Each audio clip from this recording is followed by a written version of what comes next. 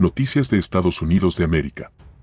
Mis amigos, te contamos que como parte del programa Conceptos Innovadores Avanzados NIAC, por sus siglas en inglés la NASA financiará durante los próximos nueve meses una serie de conceptos aeroespaciales que podrían ser utilizados en futuras misiones de exploración.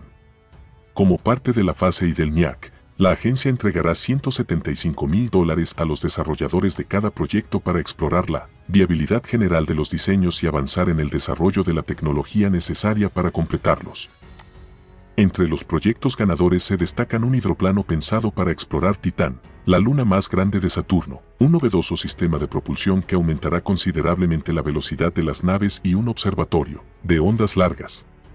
Mis amigos, los diseños innovadores del hidroavión Titaner, diseñado por Quen Morley, formaría parte de la misión exploratoria de Titán y podría volar a través de la atmósfera de nitrógeno y metano, además de navegar por sus océanos para servir como una plataforma de aterrizaje reubicable.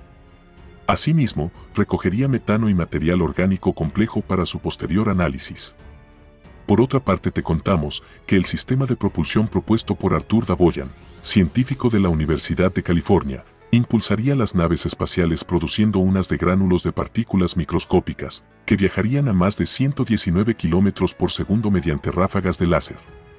De concretarse, se calcula que una nave de una tonelada impulsada con este sistema podría recorrer 100 veces la distancia entre el Sol y la Tierra en solo tres años, con lo que se acelerarían las misiones al borde exterior del sistema solar y al espacio exterior.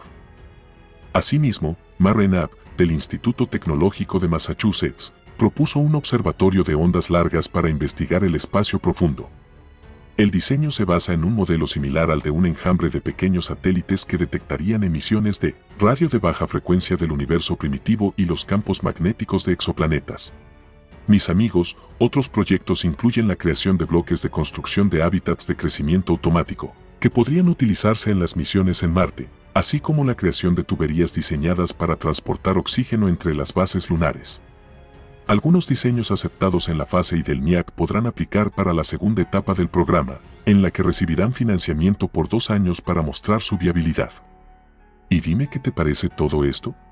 Esperamos que esta noticia haya sido de tu interés. Que tengas un bendecido día.